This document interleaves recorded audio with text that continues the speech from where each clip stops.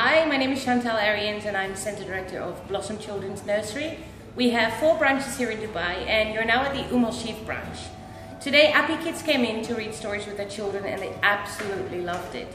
What I like about them coming in and reading stories and also about the apps that Appy Kids produce is that it's technology and ICT for children in the early years.